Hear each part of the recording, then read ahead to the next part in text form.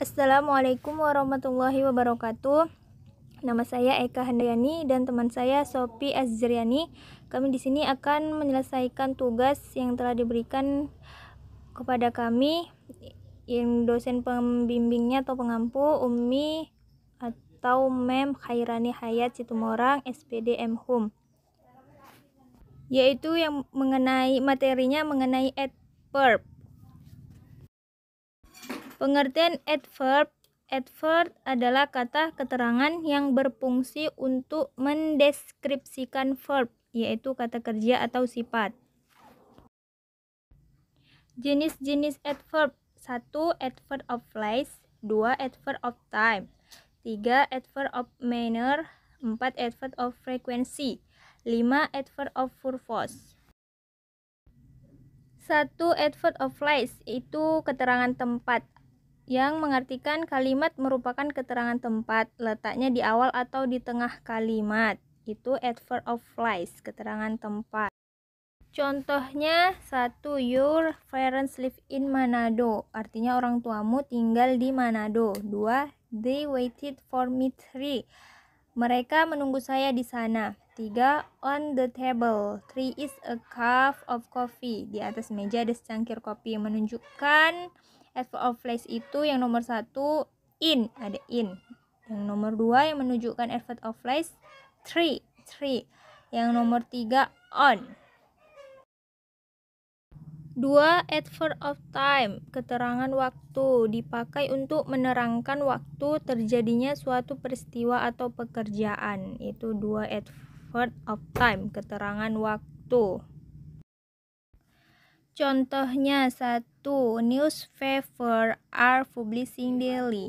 Artinya surat kabar itu diterbitkan setiap hari. Dua, I visit my parents yearly.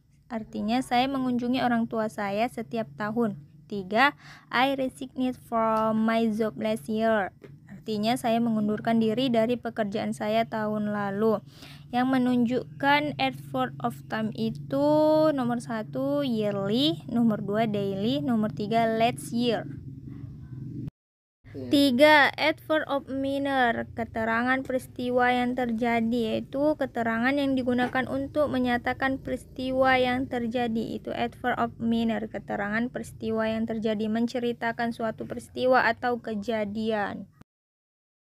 Contohnya satu, my brother can run quickly. Saudaraku bisa berlari dengan cepat. Dua, she types the email wrongly. Dia mengetik email itu dengan salah. Tiga, I don't speak English well. Aku tidak bicara bahasa Inggris baik. Yang menerangkan dengan adverb of manner itu nomor satu quickly, dua wrongly, tiga will. Oke, selanjutnya akan dibawakan oleh Sophie Azriani. Yang keempat yaitu adverb of frequency atau keterangan frekuensi. Di sini adverb of frequency menerangkan frekuensi atau intensitas yang sedang terjadi.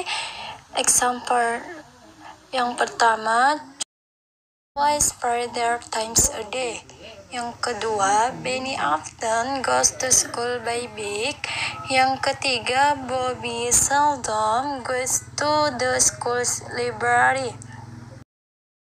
Kelima, yaitu tentang adverb of purpose atau keterangan tujuan yang fungsinya menunjukkan sebuah tujuan atau alasan pekerjaan yang dilakukan baik yang terjadi maupun yang akan terjadi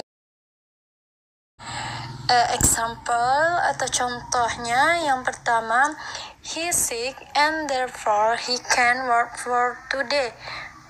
Yang kedua he was in library and read many books every day so that he got a nickname the bookworm boy in my class. Yang ketiga in order to improve my English language skill I always read the grammar lessons in book every day. Oke, baiklah itulah hasilnya yang mengenai atau pengertian ataupun contoh dari adverb. Masing-masing ada lima dan contohnya ada tiga. kami sudahi wabillahi taufiq walhidayah wassalamualaikum warahmatullahi wabarakatuh